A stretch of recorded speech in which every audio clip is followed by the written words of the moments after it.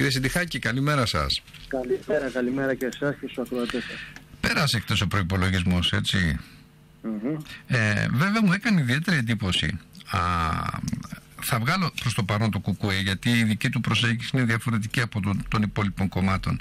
Ο κ. Μητσοτάκης μίλησε για α, προϋπολογισμό λιτότητας, το ίδιο μίλησε και η κυρία Γεννηματά. Ε, το ίδιο μιλάτε, για το ίδιο πράγμα λέτε κι εσείς. Αλλά για εξηγήστε μας, ε, πού είναι η διαφορά όμως εδώ μέσα; Για να μην τα βάζουμε όλους στο ίδιο τσουβάλι, έτσι, γιατί δεν πρέπει να γίνεται αυτό ο προϋπολογισμός πέρασε και μάλιστα με ε, διθυράμβους από την πλευρά της κυβέρνησης ότι πρόκειται για έναν μεταμνημονιακό ε, προϋπολογισμό, προϋπολογισμό δικός μας κτλ. Η πραγματικότητα όμως είναι εντελώς διαφορετική. Βέβαια ο καθένας ε, το προσεγγίζει το ζήτημα εντελώς διαφορετικά. Εμείς λέμε ότι είναι αντιλαϊκός, έχει ταξικό προσανατολισμό και το τεκμηριώνουμε πάρα πάρα πολύ συγκεκριμένα.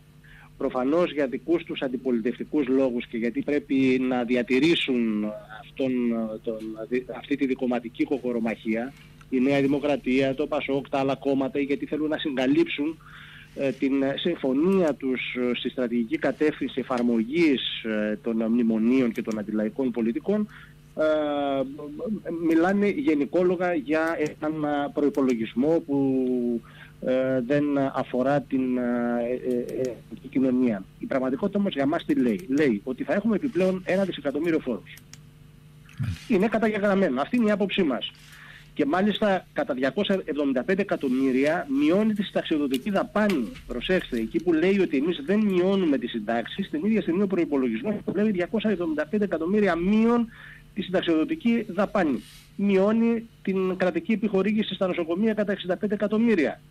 Και ε, προφανώς ε, γιατί υπάρχει η, η μνημονιακή δέσμευση ότι πρέπει το πρωτογενές πλεόνασμα να είναι στο 3,5% πρέπει να είναι πολύ συγκεκριμένο ε, η μη μείωση των συντάξεων για την οποία κοκορεύεται η κυβέρνηση και προφανώς γίνεται για καθαρά προεκλογικούς λόγους πρέπει να ισοβαθμιστεί, πρέπει να, να βρεθεί εκείνο το ποσό ε, όπου θα ισοφαρίσει την μη μείωση των συντάξεων. Ποιο είναι λοιπόν αυτό το ποσό το οποίο περικόπτεται ε, στον προϋπολογισμό; Είναι ένα δισεκατομμύριο 700 εκατομμύρια που αφορά σχολικά γεύματα, αφορά τις, ε, τη δημιουργία νέων βρεφονιπιακών σταθμών που είχε υποσχεθεί η κυβέρνηση, η κυρία Φωτίου κτλ. Όπως επίσης την ε, μείωση της ε, επιδότησης ε, για τις συνταγογραφούμενα φάρμακα των συνταξιούχων. Και φυσικά ένα σωρό άλλες μειώσεις που ε, θα χρειαστεί πάρα πολύς ε, χρόνος σε πάση περιπτώσει, όπως για παράδειγμα η μείωση στον χώρο της τοπικής και περιφερειακής διοίκησης. Ε... Έτσι, 194 εκατομμύρια για παράδειγμα, επιτρέψτε μου, είναι οι, οι προ, προβλέπονται, προβλέπονται στον προϋπολογισμό αύξηση 194 εκατομμύρια ευρώ για δημοτικούς φόρους και τέλη ενώ μειώνει 740 εκατομμύρια τη χρηματοδότηση στους Δήμους από τους κεντρικούς αυτούς Ωραία. Κύριε Συντιχάκη, στον προϋπολογισμό αυτό που θα σας πω δεν περιλαμβάνεται, ωστόσο έχει ξεκινήσει μια μεγάλη συζήτηση ε, και από τους ε, δημοσίους υπαλλήλους οι οποίοι έχουν προσφύγει στη δικαιοσύνη μετά την απόφαση του έκτου τμήματος του ΣΤΕ ότι είναι, ήταν αντισαγματική η ακύρωση του 13ου και 14ου μισθού. Θέλω να ρωτήσω αυτό το κομμάτι ε, εσάς σαν ε, Κομμουνιστικό Κόμμα Ελλάδας ε, σας ε, βάζει μπροστά στο δίλημα να στηρίξουμε ή να μην στηρίξουμε και υπάρχει δυνατότητα αυτά τα χρήματα να δοθούν; Για το αν θα στηρίξουμε τις αποφάσεις αντισυνταγματικότητας της μείωσης. Όχι, όχι. Ε, αν θα στηρίξετε το ότι πρέπει να διεκδικηθούν αυτά τα χρήματα. Γιατί βγαίνουν κάποιοι και λένε ότι αν δώσεις αυτά τα χρήματα τότε πήγε στράφη ξέρω, η ε, θυσία 8 ετών. Κάθε, κάποιοι έτσι λένε. Κάθε προσπάθεια διεκδίκησης ε, ως αποτέλεσμα αποφάσεων δικαστηρίων του Συμβουλίου της Επικρατείας που λέτε προφανώς θα στηριχτεί από την πλευρά μας. Έτσι. Δεν, ε, δεν χωράει αφιβολία περί αυτού. Το ζήτημα όμως ποιο είναι; Ότι αυτή η πολιτική που εφαρμόζεται για τις συντάξεις, για τους μισθούς, με τους φόρους κτλ. είναι πολιτική επιλογή. Είναι πολιτική επιλογή που δείχνει την ε, ευθυγράμμιση ε, στις ε, παραγγελίες της Ευρωπαϊκής Ένωσης, του Διεθνούς Νομισματικού Ταμείου, των θεσμών εν πάση περιπτώσει που λέει ότι για να βγει από την κρίση το καπιταλιστικό σύστημα θα πρέπει να την κυρώσει την ύφη ο λαός, οι συνταξιούχοι, οι φτωχοί, οι άνεργοι κτλ. Έτσι, άρα λοιπόν πολιτικά προσεγγίζουμε το ζήτημα. Και εδώ λέμε, κοιτάξτε να δείτε τώρα. Ε, προφανώς το, το, το κουβάρι έχει ξετυλιχθεί από τις προηγούμενες κυβερνήσεις της Νέας Δημοκρατίας και του Πασόκ με το πρώτο Ξέρετε και το γιατί σας ρωτώ, επειδή τώρα έχει ναι. βγει πολύ έντονα και κυρίως από συνδικαλιστικές ενώσεις και την ΑΔΔ που ουσιαστικά ναι. σου, σου, σου, σου, λένε, σου, το διαφημίζουν και τα μέσα ενημέρωσης τρέξε να υποβάλεις αίτηση για να μην χάσεις τη δυνατότητα να πάρεις τα λεφτά αυτά πίσω. Κοιτάξτε, καταρχήν να πούμε ότι η ΑΔΔ και η ΓΕΣΕ καλά θα κάνουν να οργανώσουν, θα μου πείτε τώρα απευθύνομαι σε αυτούς, αλλά πάση περιπτώσει περισσότερο για να καταλάβει ο κόσμος ότι αυτές οι ανώτερες συνδικαλιστικές ηγεσίες ε, ε, από το πουθενά εμφανίζονται σήμερα να μιλάνε για τη διεκδίκηση των χαμένων από την πλευρά των εργαζομένων και των συνταξιούχων όταν δεν έχουν κουνήσει στην κυριολεξία το δαχτυλάκι τους για να οργανώσουν την πάλη της εργατικής τάξης, των δημοσίων υπαλλήλων, των συνταξιούχων, των ανέργων κτλ. Αντιθέτως πάντα έβαζαν και συνεχίζουν να βάζουν τη χλοποδιά. Όταν εχθές για παράδειγμα διαδήλωνε το ΠΑΜΕ ε, η, τα μπλόκα της αγροτιάς, ε, οι αυτοαπασχολούμενοι σε ολόκληρη τη χώρα ενάντια σε αυτόν τον αντιλαϊκό κρατικό προϋπολογισμό που ήταν η ΓΕΣΕ και η ΑΔΕΔ, απλά ξέρει πολύ καλά να δίνουν οδηγίες προς ναυτιλωμένους, γνωρίζοντας πάρα πολύ καλά ότι αυτό λειτουργεί και από προσανατολιστικά, διότι προφανώς εντάξει υπάρχουν αυτές οι δικαστικές αποφάσεις και βεβαίως να πάει ο καθένας να το διεκδικήσει. Αλλά αυτό είναι το ζητούμενο σήμερα.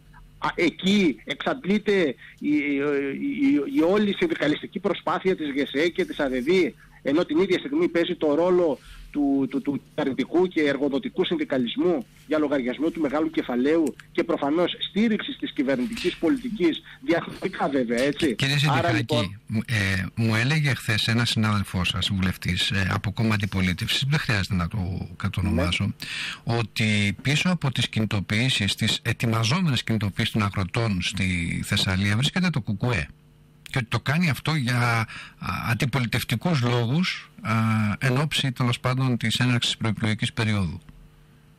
Κοιτάξτε, ε, οι κομμουνιστές ποτέ, ποτέ δεν έκρυψαν ότι βρίσκονται στην προμετωπίδα των ε, εργατικών, αγροτικών, γενικότερα των κοινωνικών αγώνων και πρωτοστατούν και είναι και τιμή τους και καμάρι τους.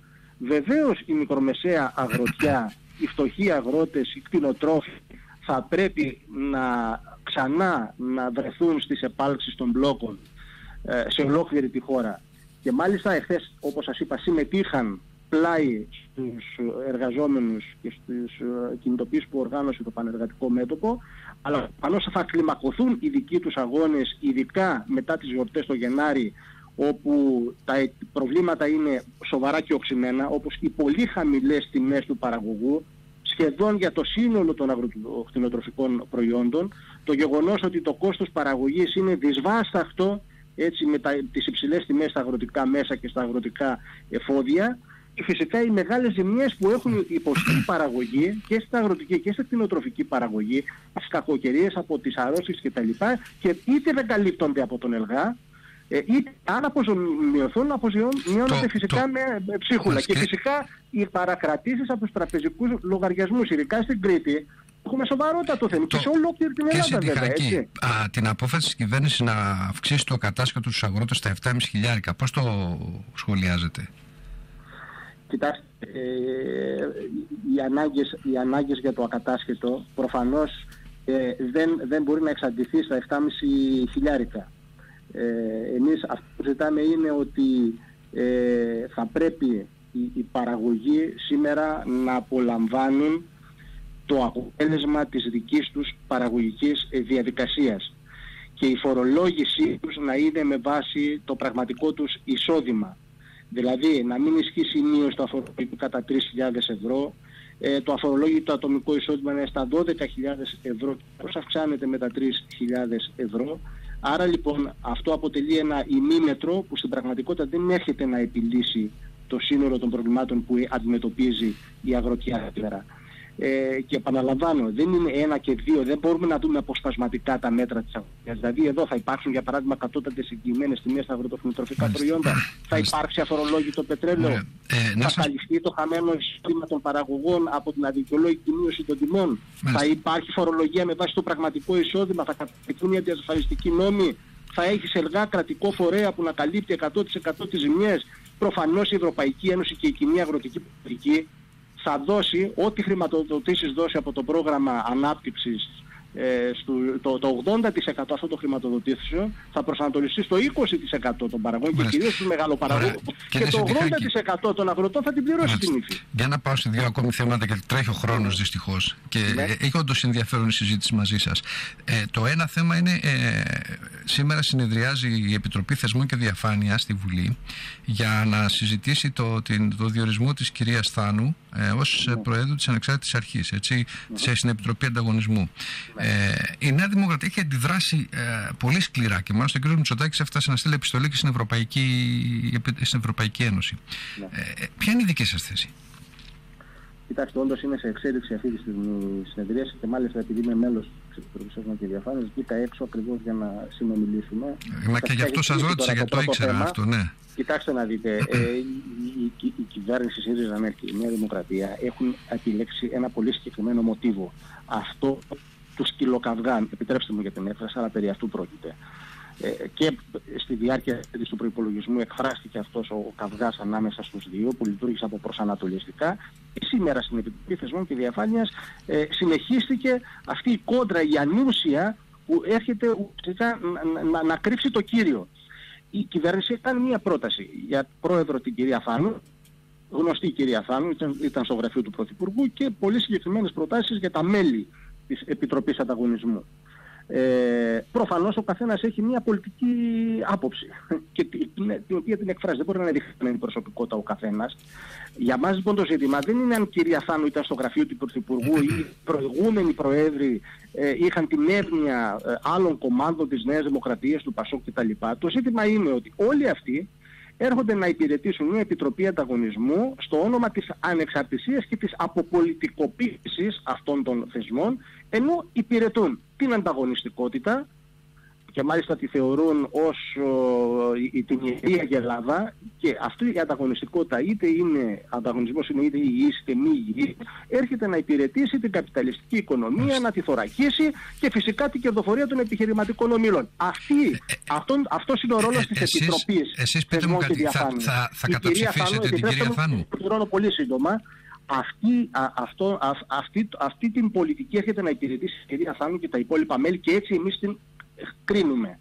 Όπως κρίναμε και τους προηγούμενους. Εμείς ψηφίσαμε παρόν, αφενός γιατί δεν βρίσκουμε κάτι επιλήψιμο στην προσωπική ή στην επαγγελματική τους ζωή, Φετέρου, γιατί θεωρούμε ότι ο ρόλος και ο χαρακτήρας της Επιτροπής Ανταγωνισμού είναι για να υπηρετήσει τα ιερά και τα όσια της καπιταλιστικής οικονομίας που είναι σε βάρος των καταναλωτών και των μικρών μεσαίων επιχειρήσεων και των αυτοαπασχολουμένων. Και φυσικά επειδή ήταν και, είναι και επίκαιρο το θέμα της χαλιβουργικής αυτής η οποία έβαλε Λουκέτο που γνωρίζουμε πάρα πολύ καλά ότι είναι αποτέλεσμα ακριβώς αυτού του οξύτατου ανταγωνισμού που υπάρχει σήμερα στην καπιταλιστική οικονομία. Μήπως θα το αποτρέψει η Επιτροπή Ανταγωνισμού, θα αποτρέψει δηλαδή το Λουκέτο της Χαλιβουργικής; Όχι. Και, μια ακόμη ερώτηση, αλλά ε, ε, ε, να επιταχύνουμε λίγο την απάντηση, ναι. γιατί ναι, έχουμε ναι. μάξιμου δύο λεπτά. Ε, Συμφωνία των Προσπών θα είναι η επόμενη σκληρή αντιπαράθεση στη Βουλή. Ε, πιστεύετε ότι όπως έχει διαμορφωθεί το κλίμα στη Βουλή με τον κύριο Θεοχάρη να εντάσσεται πλέον στην ομάδα, στην κοινοβουλευτική ομάδα της Νέας Δημοκρατίας, ο οποίος είχε ταχθεί υπέρ της συμφωνίας. Τώρα τάσσεται κατά. Μπορεί η κυβέρνηση έχει την εστοριακή πλειοψηφία των 151 και να περάσει τη συμφωνία; Και αν δεν περάσει, τι γίνεται; Κοιτάξτε, παρακολουθούμε όλες αυτές τις μετακινήσεις και τις ε, μεταγραφές ε, βουλευτών από το ένα κόμμα στο άλλο. Φυσικά δεν μπορούμε να κάνουμε ούτε τους μάντιες, ούτε να κάνουμε τους τροχονόμους, ούτε και να κάνουμε το λογιστικό κομμάτι, το αθρηστικό, πόσους έχει ο ένας και πόσους έχει ο άλλος. Η ουσία είναι πια ότι και στην υπόθεση των Πρεσπών θα επενδύσουν και τα δύο κόμματα για να συσκοτήσουν την πραγματικότητα και τη βασική του συμφωνία που είναι πια ότι δεν διαφωνούν για το ρόλο του ΝΑΤΟ και των Αμερικανών στα Δυτικά Βαλκάνια το δυσδυτικό ρόλο σε βάρος των λαών και της Ελλάδας και των Σκοπίων. Εμείς θα την καταψηφίσουμε αυτή τη συμφωνία για δύο λόγους. Πρώτον γιατί υπηρετεί τα ανατολικά και αμερικάνικα συμφωνία στην ευρύτερη περιοχή και δεύτερον γιατί ενέχει το σπέρμα του αλυτρωτισμού ε, με την μακεδονική γλώσσα και τη μακεδονική εθνότητα. Με ό,τι αυτό πρακτικός συνεπάγεται το βλέπουμε άλλωστε όλο αυτό το χρονικό διάστημα πώς αναπτύσσεται ο εθνικισμός ένθεν και έθεν. Αυτό θέλω όμως να πω και να κλείσω εγώ με αυτό είναι ότι ο λαός δεν πρέπει να πέσει σε αυτή την παγίδα του σκυλοκαυγά, του κομματικού σκυλοκαυγά στην κυριολεξία Έτσι, γιατί εάν πραγματικά τσιμπήσει το κεράκι αυτό του, του, του, του, του, του κομματικού καυγά, έτσι, είναι σαν να, αυτό που έλεγε ο Μίσος Σλωμός, δυστυχισμένε μου λαέ, καλέ και αγαπημένε, πάντα ευκολόπιστε και πάντα προθωμένε. Έχει ένα, ένα δρόμο να ακολουθήσει ο λαός, να σηκώσει ανάστημα, να ανατρέψει αυτή την καπιταλιστική βαρβαρότητα και να πάρει τη δική του εξουσία και να οικοδομήσει τη νέα κοινωνία. Αυτή είναι η πραγματικότητα. Ευχαριστώ πολύ κύριε Συντιχάκη. Ευχαριστώ, να είστε καλά. Καλή σας μέρα.